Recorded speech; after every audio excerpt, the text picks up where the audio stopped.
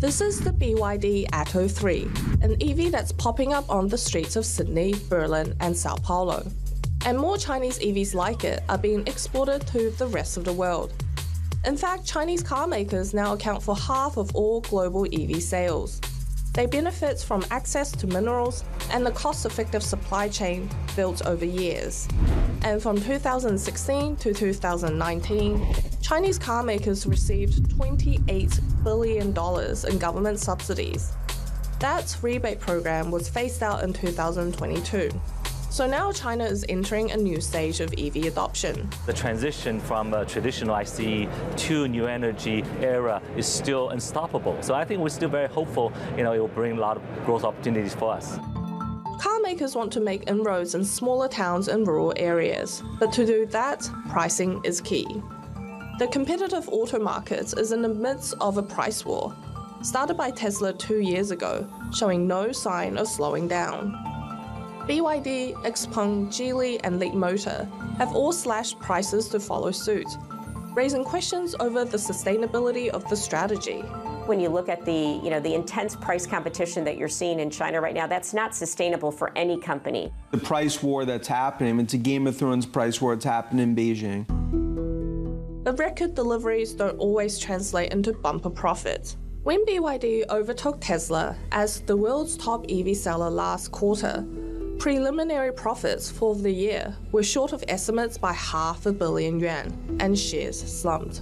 With the lack of government funding and a slowing domestic market, EV makers that do survive will have to come up with even better, cheaper products and sell to overseas buyers that may not be friendly to cars made in China.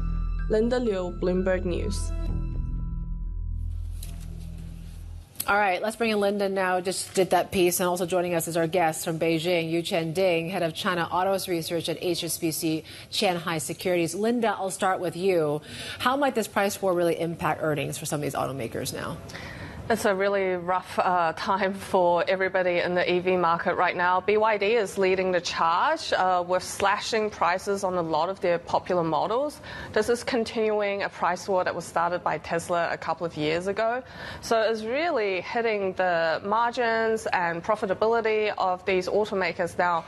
BYD is the top seller, so they have some leeway to wage this war, but you can't say the same for some of these smaller players like Xpeng, uh, Li Auto, or NIO, whose sales are suffering, as well as you know taking a hit from this price war. What? So, so we laid out the companies coming out with earnings this week. So apart from the actual numbers, is there any specific guidance or tone that you're looking to hear on the price war from executives as they talk to investors?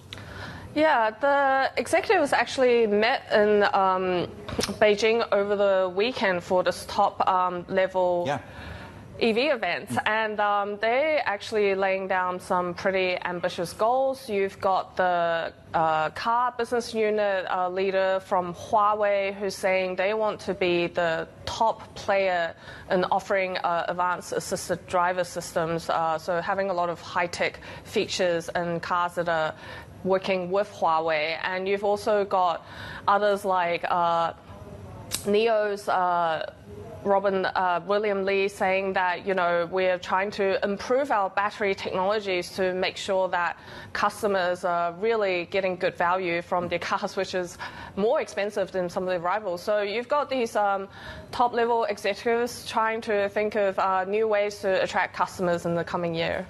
Uh, Yuqian, I'll bring you in right now uh, on what you're seeing when it comes to these price wars. Are, are you thinking price cuts are likely to continue uh, in this space?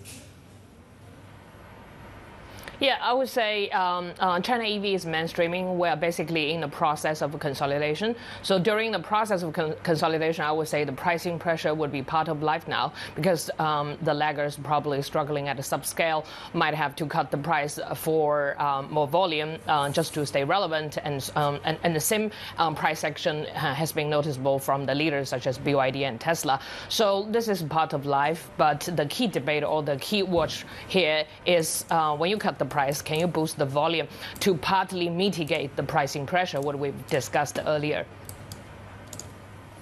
Uh, Yuqian David here. So you talked about volume then. What are your assumptions on how much they sell? And just put this also into context of the, the, the penetration rate, which I believe, based on your report here, is at 43 percent. Yeah, so uh, our full year forecast for the EV penetration this year is around 45%.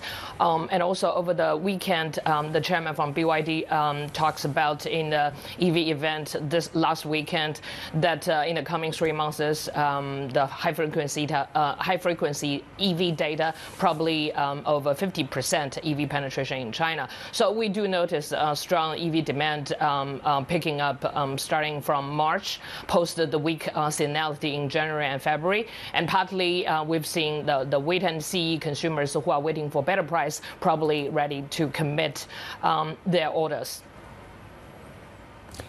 And, what does this mean for, I mean, the, the, the, the market seems to be quite concerned about the overcapacity in, the EV space here right now, and, and also when it comes to if you continue to cut prices, that's going to lead to more, you know, geopolitical tensions with the U.S., with the Europe, you know, European you know, markets as well. I'm just wondering how, how should investors look at some of these concerns? Yeah, two part of the question. First of all, um, overcapacity. I think government um, stopped uh, issuing you uh, new EV uh, uh, production certificate uh, since 17. The problem is the existing uh, status quo is still simply too much. We have too many brand, too many models on the market, so the industry is due for the consolidation. We do notice um, there's some smaller player reported to halt production and halt um, um, paying the employees, and also many of other brands talked about um, uh, cutting the capacity, existing capacity in China. So we've already seen the industry consolidation in the on, the move, and the, the market is basically um, the the key. Uh, the market mechanism is the key drivers um, uh, in the process. On the other side, uh, to navigate increasingly um, more complicated global trade environment, we do see uh, the potential in-market supply could be um, a rather effective way to mitigate um, these um, uh, trade tension, um, as well as the tariff and FX risks. Uh, for example, BYD has been reported to open the new plant in, in, in Europe, in ASEAN, and also South America. Yuqian, this is Linda here. I'm really curious about what you think of Geely. It's an interesting company who just said that they aspire to be the Volkswagen in the new energy vehicle age. How do you think Geely is going to balance all of their brands to really try to come out ahead? Yeah, great question. But we're currently restricted on Geely. Um, but uh, to the topic about incumbency company moving uh, towards the electrification, we do notice um, there's a couple of incumbency name has been doing quite a good job by establishing a dedicated EV brand um, um, and and uh, also actively uh, um, um, uh, employ uh, direct sell and also advanced driving assistant functions into their new vehicle. So both party, both the EV uh, pure play um, as a, uh, as well as the incumbency moving towards the EV going to remain to be the mainstream player for the EV playground. Hmm. Uh, Yuqian, as a follow-up, I guess to you mentioned incumbent, which among among the stocks that you cover, among the companies that you cover, which one has the least visibility in terms of just looking either that's a year ahead or five years ahead? Uh, yeah, uh, a great question. I would say uh, the SOE incumbencies um, as a group uh, in general uh, is facing a more challenging environment in terms of the competition.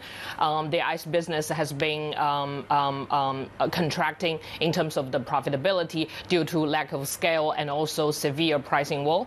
Um, I would say generally Dongfeng and uh, BAIC under our coverage probably has a bit of a rough patch to go through while their EV business is still on the expansion phase, and uh, uh, while the incumbency profit pool has been um, shrinking. And this has been um, reflected in the reported 2023 earnings. And what does it mean for you know the number one BYD then? I mean, obviously they they they maintain that lead amidst this fierce competition. What is the next road for them? Yeah, great question. So first of all, I would say uh, they have um, um, uh, aggressive uh, price action by introducing the budget version. So although uh, this could uh, uh, th- this should partly pressure on the profitability, but on the other hand, lower entry pricing point also attract more demand. So the order book momentum um, and increasing scale will help help them partly mitigate the pricing pressure, and um, the continuous um, in China would be the key focus, and another leg of growth um, probably coming from the overseas market. We talked about uh, BYD's uh, um, has been expanding overseas, and they have been expanding their uh, production over there, and also given a rather more favorable competition environment in overseas market, their overseas business has been yielding um, much better margin than the domestic market. So um, uh, domestic market, um, we're also expecting in the second quarter the platform refresh, which is supposed to drive um, uh, from the second half of the year another round of the product cycle refreshment. Hmm. Uh, Linda, question to you here. You have new entries. You have Xiaomi. You have Huawei. Huawei entering the EV competition. And Yuqian, listen to the question because this also goes to you in a moment. Here, but I want to get your thoughts, Linda, on what this means for the for, for the current players, of course, in the industry. So these tech giants entering the space is really going to put the focus on uh, high-tech fixtures in EVs. Uh, Huawei said that they want to be the top in assist, advanced assisted driver system, and Xiaomi is really pushing this car ecosystem they're coming up with. They want to provide a seamless experience for drivers. You know, you can be listening to an audiobook on your phone, and the, when you enter into your car, it will pick right up, playing it on the stereo so with these focus on technology, it's putting the pressure on market leaders like BYD, who actually hasn't had such a big focus on these in-car technologies previously. So now BYD said that they're going to catch up and investing a lot more into this sector. And again, it comes back to profitability because these uh, developing these kinds of functions and features aren't cheap. So in the long term, if you want to stay on top, you've got to spend this money. Yeah. I mean, we saw what happened with Apple, right? Uh, mm. Yuqian, your thoughts on new entries and how the incumbents respond to these new entrants? Yeah, I, I think the, the, the, broader industry context would be EV is increasingly commoditized. The smart EV is the next game changer.